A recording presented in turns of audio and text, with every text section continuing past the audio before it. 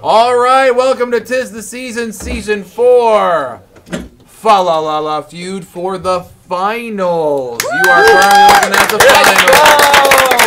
Okay, here we are. Let's start over here by introducing this side. Mrs. Weiser and the three wise men. Jacob Urego. Nicholas Ryan. Kimo Washington. And over here we have. I'm Mr. Campbell with Team Delirious. I'm Jacob. I'm Nate. And I'm Hunter. All right, are we ready to go? All right. All right, here we go. Let's do it. All right, 100 married men were polled. Name something that's easier to catch than a date. A cold. All right, a cold is Yeah. correct. That is number one. Okay, here we go. Name something that's easier to catch than a date. A snail. A snail. All right, good answer. Good Snail, answer. snail. Uh, Uh, okay, so something that's easier to catch than a date. a ball. A ball. Yeah, good answer. A ball. Good answer. What an answer. Uh, all right, that's two. Start thinking over there. Name something that's easier to catch than a date.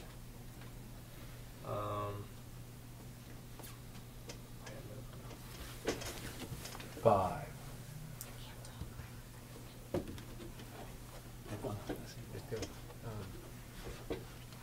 Time. All nothing. right. All right. All right, we're going over here. He's got to find one on the board. Mr. Barzak, we think something that's easy to catch is a fish. They're going with a fish. There we go. All Good job, All team. right, Good job. slide those points on over. Let's see what they missed. What was the fourth one? Oh, a frisbee. Ah. All right, on number three. A bus. Oh.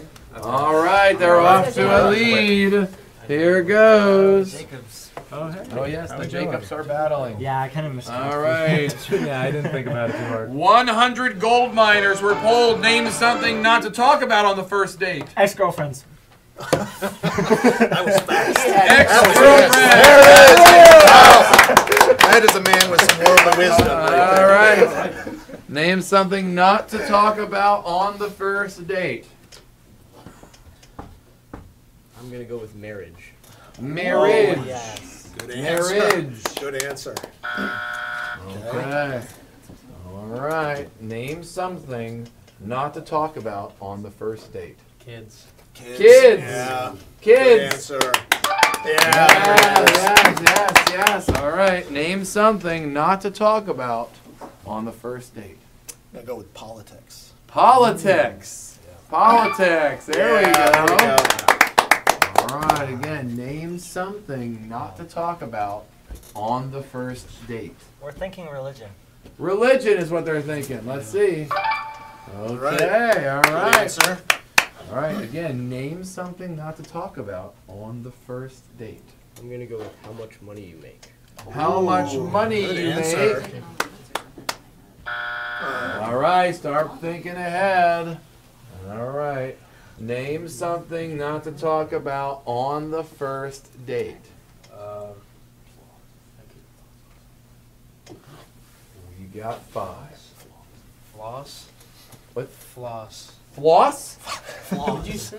Oh, floss. Floss. Floss. Floss. Or floss. Or floss. Floss.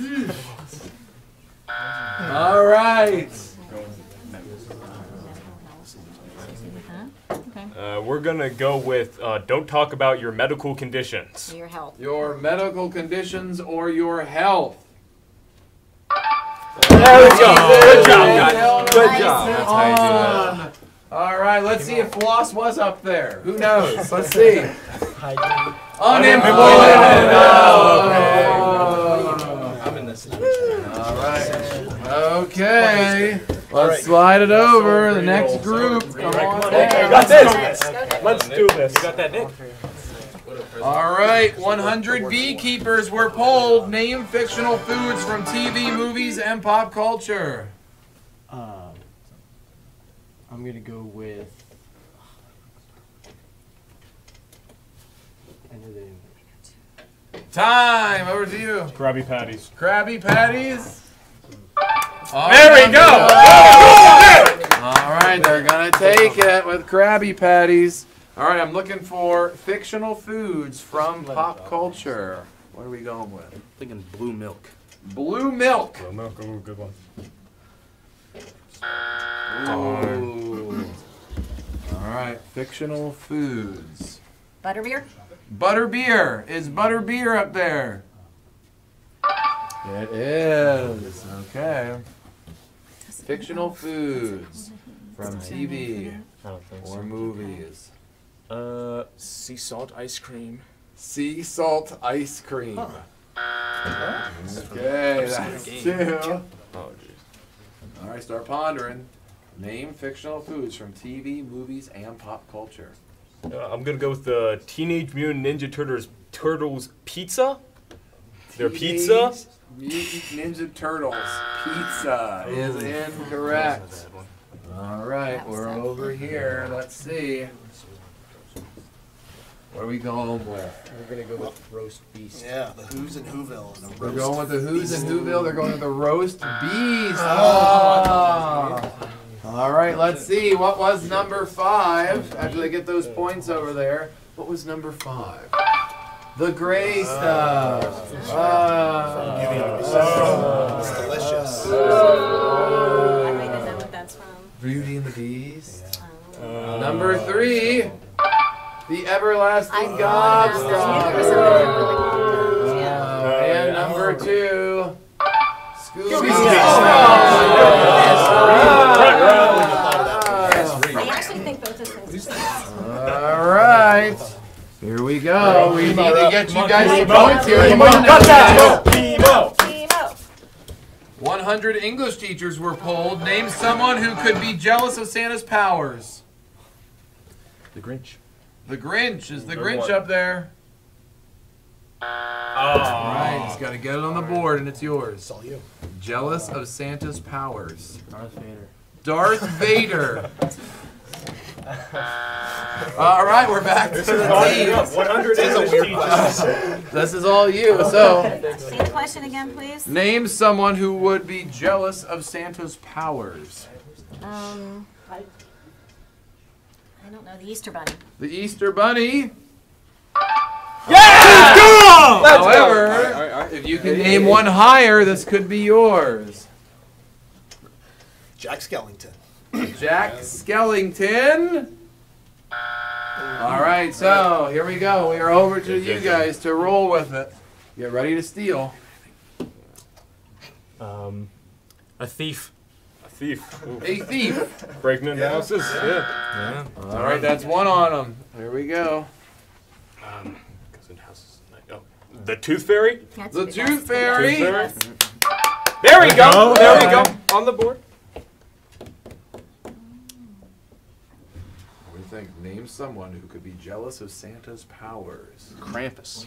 Krampus. Krampus. Oh. All right. There we go. We're back to you. Name someone who could be jealous of Santa's powers. Mr. Marzok. Mr. Marzok. Good answer. Oh. That was number one. All right. It's got to get one on there. These points are yours. All right. I think we're going to go with all of the elves. All of the uh, elves. Is that up there? Yeah. Yes. All right. Those points are theirs. Slide them over. And let's see what number six was. Humans. Ah.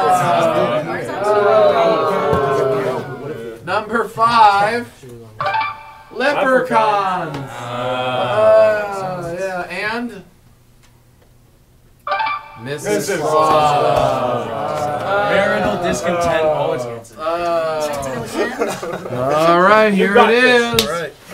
All right. Here we go. Why is it? Why is it? 100 barbers were polled. Name the most influential people with beards. Santa Claus.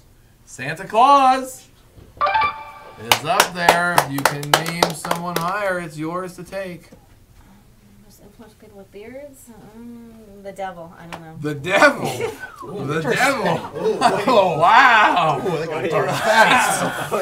Okay, it's yours. couldn't even think of anybody. Okay. I don't know the count to go to you. All right, here we go. Name the most influential people with beards. We'll go with Jesus. They're going with Jesus. Good answer. Hooray. All right, name the most influential people with beards. I'm gonna go with Abraham Lincoln.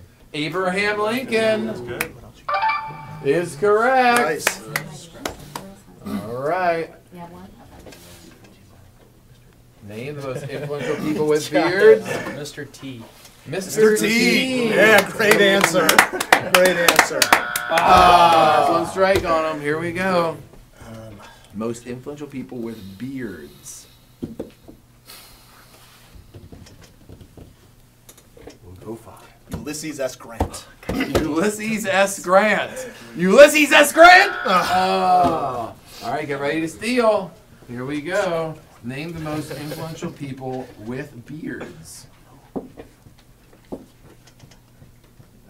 got five, Um, three, two. we'll go with Mr. Campbell. Mr. Campbell. Great Campbell, answer. Great answer. Great answer. Oh. Yeah, should have been. Go with it, maybe the other after. We're gonna go with For our influential person with a beard, we're going to go with uh, the famous pirate Blackbeard. Blackbeard the pirate. Ah! Oh, slide those points on over. Let's see what we missed. Number six. Leonardo Leonardo da da Vinci. Vinci. Oh. Thanks. Number five. Zeus. Zeus. Ah. and number four. Chuck, Chuck Norris. Norris. Oh. He's All right right, He what it looks like our final score 282 to 153. It looks The like. boys. Let's It is theirs. Four Okay. Pete! The four Pete! There All four! Thank you guys all for watching, and we will see you next year.